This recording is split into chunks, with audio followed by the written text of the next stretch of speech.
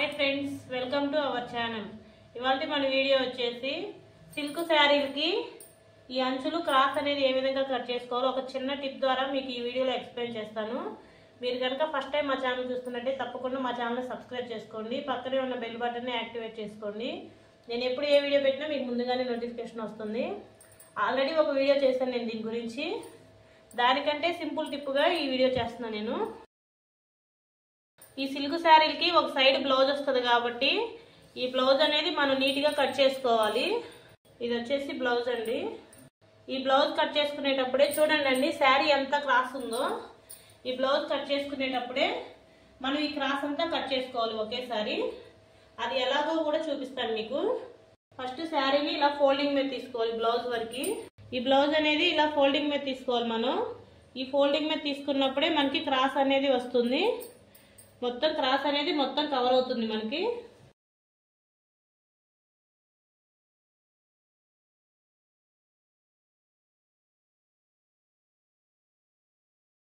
ఇలా పట్టుకొని మనం స్ట్రైట్గా ఈ కత్తెరతో ఇలా స్ట్రైట్గా వెళ్తే క్రాస్ అనేది ఏమీ రాదు మనకి.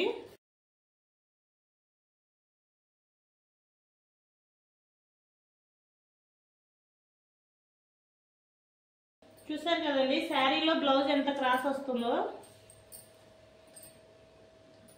ఇలా క్రాస్ అనేది కట్ చెంగు వైపు క్రాస్ అనేది కట్ చేసుకున్నాం మనం. అదే విధంగా పౌచ్ చెంగు వైపు కూడా కట్ చేసుకోవాలి. ఇలా కట్ చేసుకోవాలంటే దీనికి ఒక చిన్న టిప్ అనేది తెలుసుకోండి మీరు.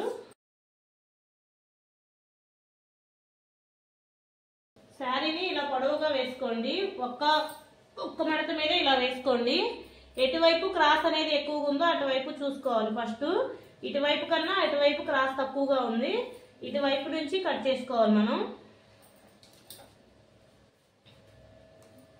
ఇక్కడ స్టార్టింగ్ మనం ఒక రెండు ఇంచులు మన- ఇలా ఒక కొంచెం కట్ చేసుకోవాలి. ఇలా కట్ చేసుకొని మనం ఇలా దారం పోగు అనేది లాగితే క్రాస్ అనేది మనకి నీట్గా వస్తుంది. ఇలా ఎన్ని శారీలు అయినా కానీ మనకి కన్ఫ్యూజ్ అనేది లేకుండా క్రాస్ అనేది తీసుకోవచ్చు. సిల్క్ శారీలకి ఎక్కువగా క్రాస్ అనేది వస్తుంది ముందు.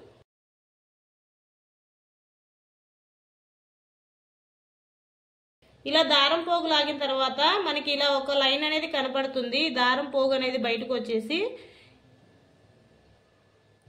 ఈ లైన్ మీద కట్ చేసుకుంటూ పోవాలి. అప్పుడు క్రాస్ అనేది మనకి నీట్గా వస్తుంది.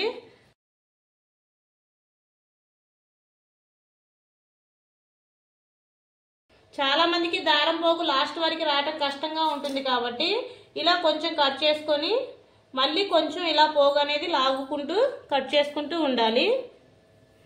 కొత్తగా నేర్చుకునే బిగినర్స్కి ఒక్కసారి దారం పోగు ఇలా లాగటం అనేది రాదు కాబట్టి కొంచెం ఇలా కట్ చేసుకున్న తర్వాత ఒక టెన్ ఇంచెస్ అలా కట్ చేసుకున్న తర్వాత మళ్ళీ దారం పోగు అనేది ఇలా లాక్కుంటూ కట్ చేసుకుంటూ పోవాలి. అప్పుడే శారీలో క్రాస్ అంతా మంచిగా వస్తుంది మనకి.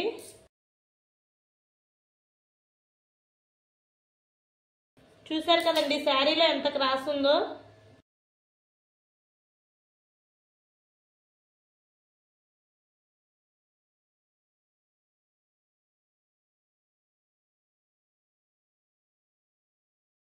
చూసారు కదండి శారీలో క్రాస్ అనేది ఎంత ఎక్కువగా ఉంటుందో ఎక్కువగా ఈ సిల్క్ శారీకి క్రాస్ అనేది ఎక్కువగా ఉంటుంది.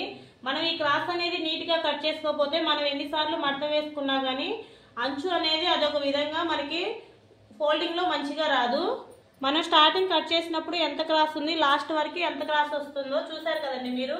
ఈ చిన్న టిప్ తెలుసుకోండి కొత్తగా బిగినర్స్ కూడా చాలా యూస్ఫుల్ అవుతుంది వీడియో. Thanks for watching.